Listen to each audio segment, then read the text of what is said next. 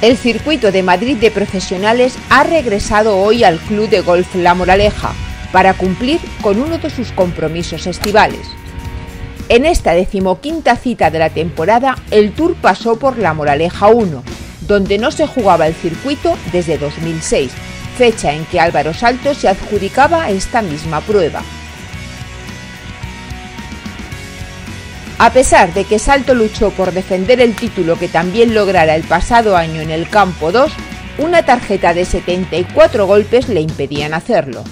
Quien no desaprovechó la oportunidad fue Jacobo Pastor, quien mantenía el objetivo de subir al podio este verano y hoy se presentó con un juego más agresivo que le permitió alcanzar su meta.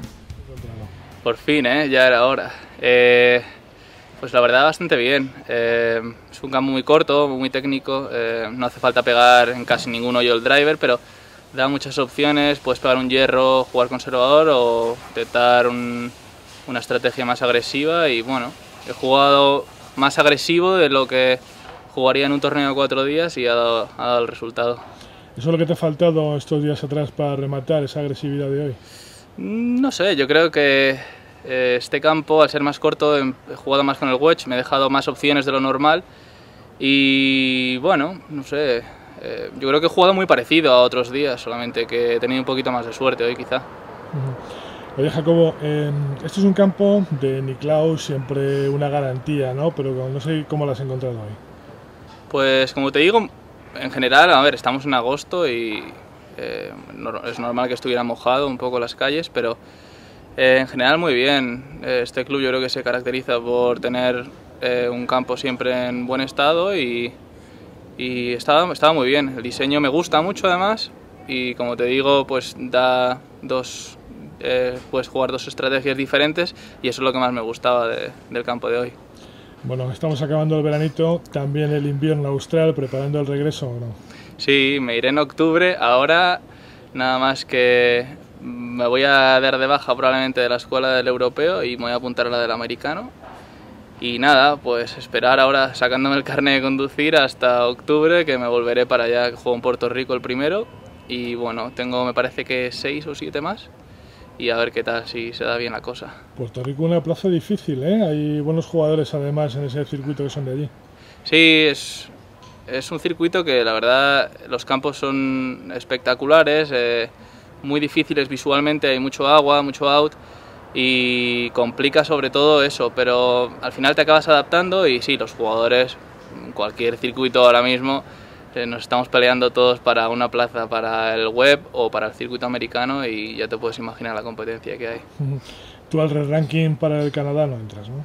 No, no, ya están jugando y aunque hubiera entrado yo creo que no, no hubiera jugado porque serían demasiadas semanas fuera y me apetecía también venir un poquito a Europa.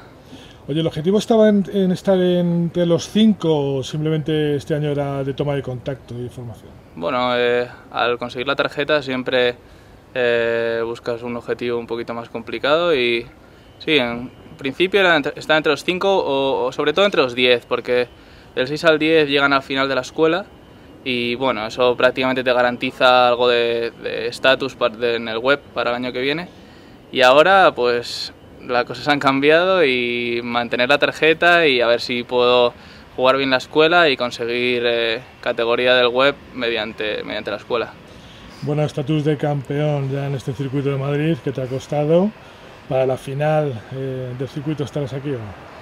No lo sé, la verdad es que no lo he mirado, lo dudo, pero si hay alguna opción voy a intentarlo, claro. Tendré que defender que he ganado un torneo por fin.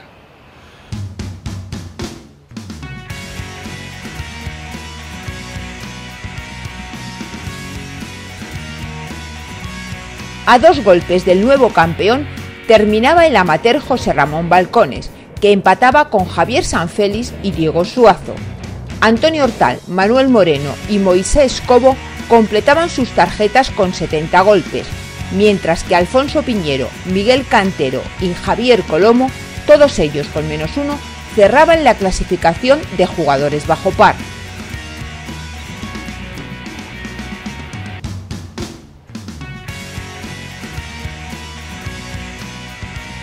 La Faisanera será la próxima cita del torneo, y el turno para que David Pastor, hoy más 6, defienda su victoria del pasado año.